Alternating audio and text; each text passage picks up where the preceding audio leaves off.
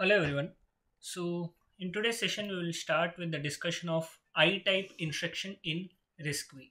So coming to I-type instruction, so in the RISC-V architecture, I-type I-type or immediate instructions are used for the operations involving an immediate values. So in the case of I-type instructions, there will we are going to deal with the immediate values so in R type instructions, we have already discussed it. So in case of R type instructions, the values are stored inside the registers and the um, the values are not uh, directly uh, given to ALU, but they are stored in the registers and uh, from that registers, we are going to access those values. So the ALU is going to access the uh, operands uh, from the from the registers. So they are stored in the registers initially and they will be accessed by the ALU Whereas in case of I-type instructions, the value is directly given to the uh, ALU for the operation, whether it may be add operation, subtract operation, multiply operation, or storing or loading.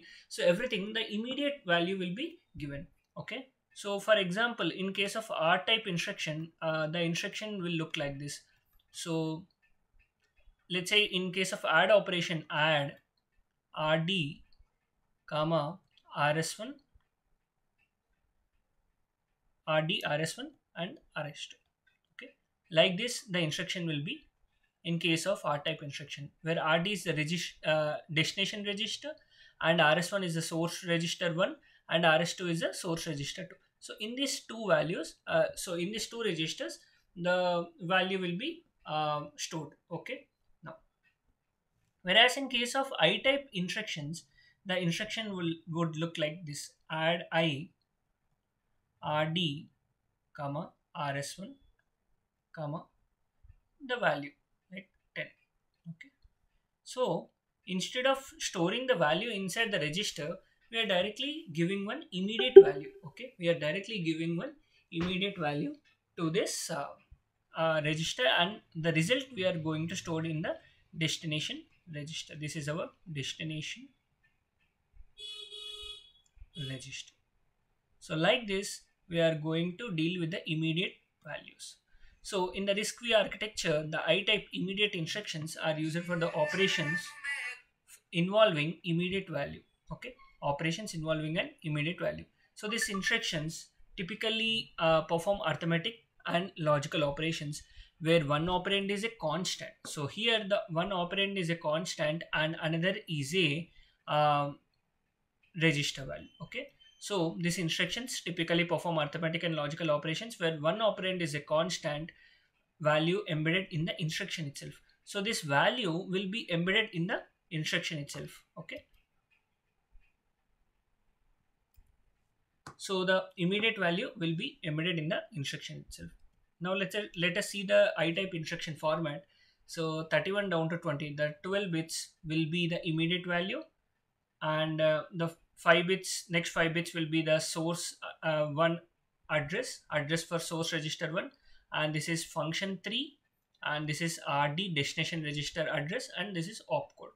So this opcode is different for i-type instructions. We have seen the opcode for r-type instructions that will be different from this i-type instructions. And this is the immediate value. So the value which we want to uh, perform any operation that will be provided in the instruction itself. So this is the immediate value 12 bit immediate value. This is of 12 bit. Okay. And this is rs1 is the address for source register 1 address for source register 1 and this this is function 3 this is used to tell which type of operation we are going to perform.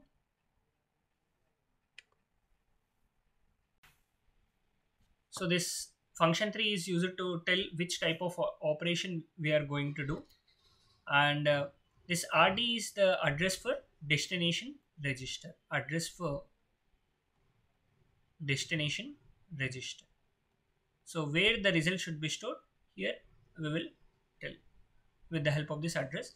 And this opcode we have already discussed. To tell the type of the instruction whether it is a R type instruction I type instruction or another type of instructions. Okay?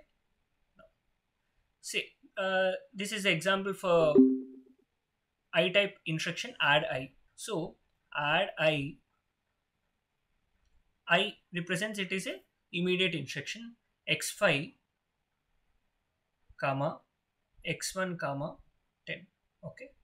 So this is the immediate instruction format where x5 is the destination register. So the result should be stored in the x5 and uh, the source register 1 we are uh, adding with the immediate value 10 so this is the immediate value. Immediate value. Okay. So immediate value is 10 and the source register is x1 and destination register is x5 and the opcode for this uh, uh, i-type instructions is hexadecimal 13 okay. Indicates a i-type instruction. And function 3 is 0 which indicates add i okay. So if function 3 is equal to 0 it indicates a uh, immediate add instruction. Okay. So this is an example. So if we convert this uh, instruction into binary format so it will look like this okay? This is a 32 bit instruction.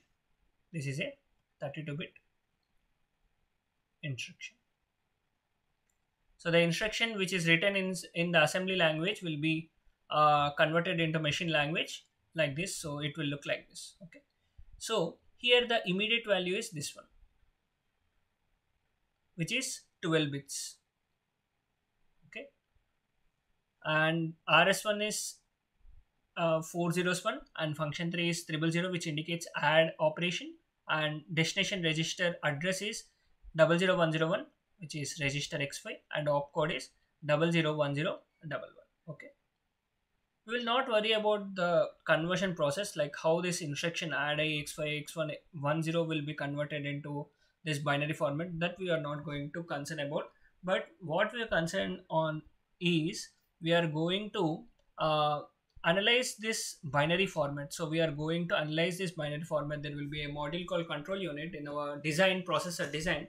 So with the help of this control unit what we are going to do we are going to analyze the instruction uh, which is in the binary format. So we are going to decide whether it is an immediate instruction or R type instruction or any other instruction.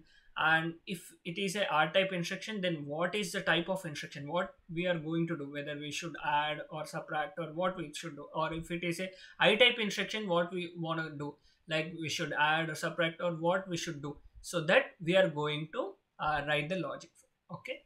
Yeah. And you can observe here, the immediate value is 12 bits only the immediate value which is embedded in the instruction that is only 12 bits and this uh, with this immediate value what we are going to do we are going to perform uh, the operation with the another register rs1 okay?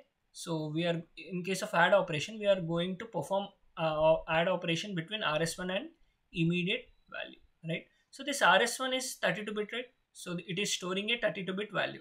But whereas this immediate is storing on uh, which is a only 12 bit value. So what we are going to do is we are going to sign extend this value to 32 bit okay so this immediate value will be sign extended to 32 bit Okay. so this is what we are going to do. Okay.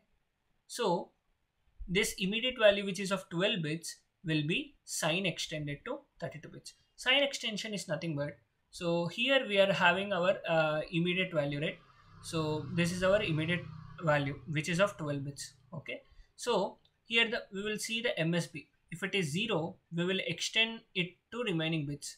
So we will extend it to remaining bits to make it to 32 bits that's it simple okay so if the msb is 1 we will fill all the remaining bits to 1 until it becomes 32 bit value we will just extend the msb bits to what we are existing having so we are having 1 at the msb so we will fill all the remaining bits before that with the 1 or if we are having 0 then we will fill all the remaining bits with 0 in front of this 0 to make it a 32 bit value. So it is sign extension. So after performing sign extension, we are going to perform the operation. Okay. So let's see add i instruction.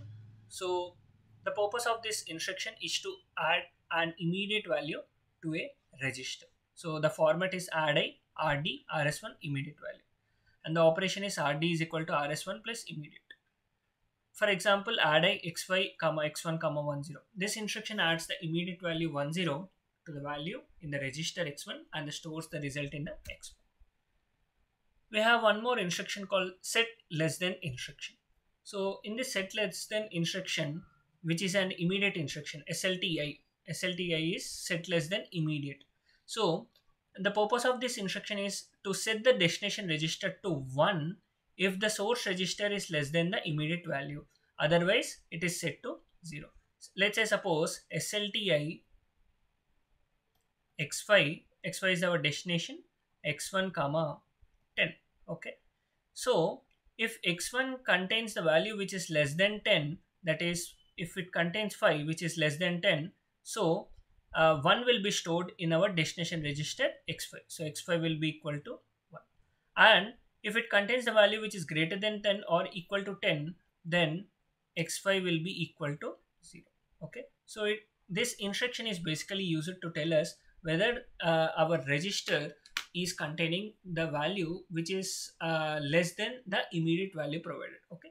Where from where this immediate value is provided? From the instruction and remember one thing this immediate value is of 12 bits only we are going to sign extend this immediate value to make it 32 bits and then we will compare it okay next or immediate this is simple or operation but this is or immediate instruction okay so we are going to perform the or operation between the register source register and the immediate value. Or operation between the register and immediate value. Okay? So the format is ori rd comma rs1 comma immediate. So operation is rd is equal to rs1 or immediate. Okay? So it will perform the or operation between the rs1 register that is the value which is present inside this register and the immediate value which we have provided. And it will store in the rd register. Okay? And next is load word. So this instruction uh, actually store uh, loads the 32 bit word from the memory into a register. Okay? So lw rd comma immediate of rs1 so what it will do? So it will store the 32 bit word from the memory into a register. For example lw x5 comma 0 so this instruction loads the 32 bit word from the memory address x1 plus 0 into a register x5 okay. So like this it will uh, uh, loads the data 32 bit data from the memory into the register. Here we are providing the address. Okay. So the instruction loads the 32 bit word from the memory address x1 plus 0 into the register x4